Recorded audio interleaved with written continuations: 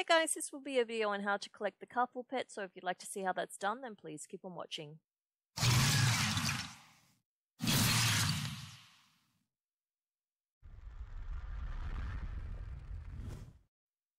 The first thing you want to do is head to the Theatre of Pain in Maldraxxus and speak to the Undying Army Quartermaster to purchase the first item, which is the animated radius.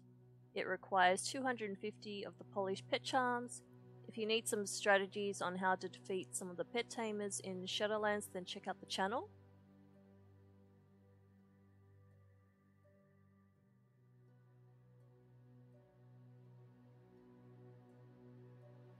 Second thing you need to do is to wait for a world quest to pop up.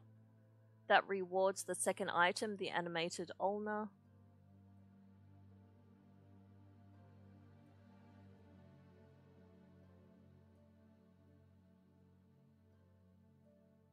And then the third is to head on over here and pick up the third item. This is actually one of the first treasures that you'll loot in Maldraxxus. There it is right here. If you look at the nose of the skeleton. One last thing, you'll only be able to interact with this third item once you have the other two items in your possession. Unfortunately, as to the timing of this video, EU characters will be two steps behind because they have yet to see the World Quest pet reward.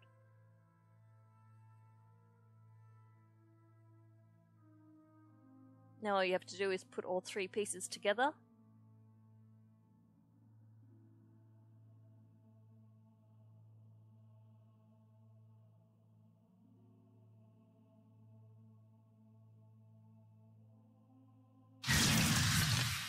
And there we have it.